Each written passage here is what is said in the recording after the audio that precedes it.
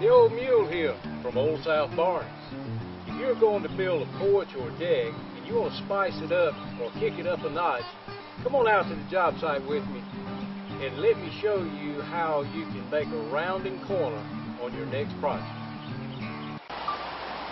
What we're doing on the corner of this deck off the back of our lodge, the our customers has asked us to put a a rounding corner on here, something that they requested, and we're setting up to do that. I just wanted to show you, quite frankly, how easy it is to do.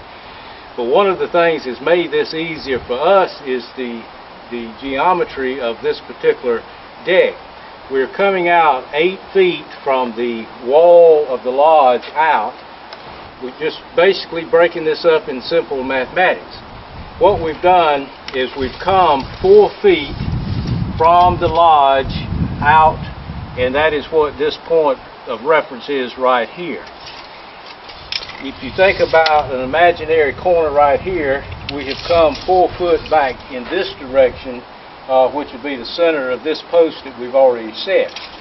So in, in theory, with a little mathematics, we have measured from here over and made us a mark, and we've measured from here over and made us a mark, and we've got an intersection line right here that we have put a screw in for a nice little pivot point.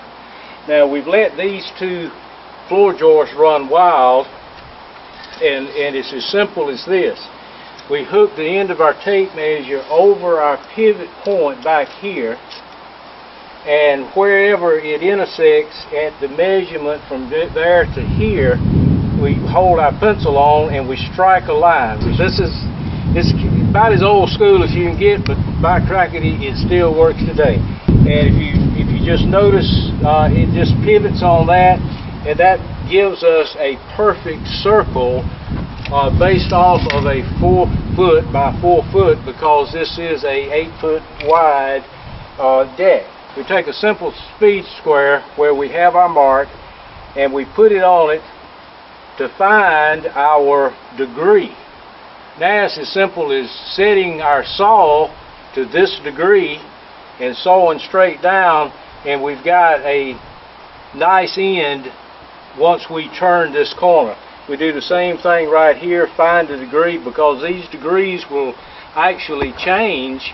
Uh, and if we had even another joist out here, if this was wider from the lodge, uh, every every joist, every every increment would change in degree. But that's how, and the way we're going to cut these off. And then it's just a matter of, of taking a tube of tin and bending that around this corner to make it work and to make it flow.